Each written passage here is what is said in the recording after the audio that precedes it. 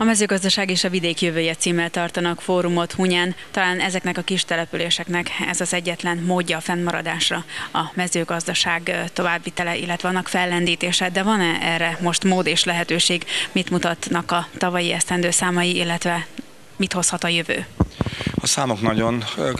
bizonytalanok, és én azt gondolom az elmúlt nyolc évnek a veszők a mérlegét, hiszen most még csak egy választásokkor az emberek is erről véleményt mondhatnak. Akkor itt 2002-ben arról folyt a vita, hogy mikor lesz majd 300-400 forint a disznó felvásárlási ára, és bizonyos szocialisták ezt ígérték javában, azóta talán egyszer sem volt az elmúlt nyolc év alatt ilyen áron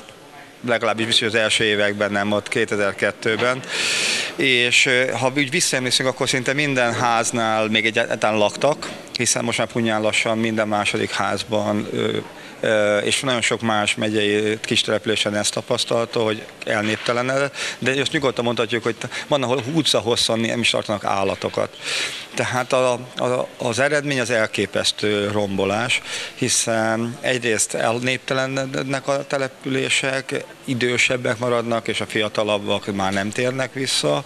illetve a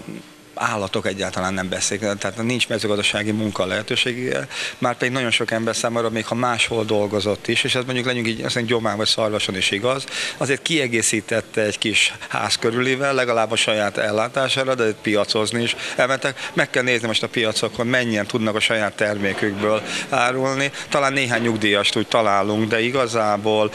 olyan őstermelők, akik, hát ugye már őstermelővel meg is szüntették ezt a kategóriát, de egyáltalán aki maga a terméke termékeit, jó termékeit, ismert termékeit a piacra tudja vinni, az elfogytak, vagy nagyon-nagyon leépültek. Tehát én azt gondolom, hogy ezért ez mindenki számára egyértelmű, hogy ebbe az irányba nem lehet tovább menni, hiszen valóban más mi, más munka lehetne. Az utak tönkrementek, a környező városok se tudják a munkahelyeket adni, tehát ezért helyben újból meg kell erősíteni a, a tenni akarásnak a szintereit, ez pedig, mert egyszer a Fidesz azt gondolom, amikor végre sikerült lépni a koalíciós szorításunkból, akkor 2001-ben a családi gazdaságokkal egy új utat megrajzolt. Sajnos azokból már nagyon sokan nincsenek meg, de azért akik megmaradtak, azokra érdemes odafigyelni, érdemes újból nagyobb segítséget adni, segíteni nekik, hogy a aki fiatal gazdaként akarja továbbvinni idős családtagoknak a gazdaságát, arra legyen segítség, erre külön figyelmet érdemes folytani, az Európai Unió erre ad is támogatásokat, tehát Magyarországon erről nem sokat tudunk, vagy nagyon kevesen,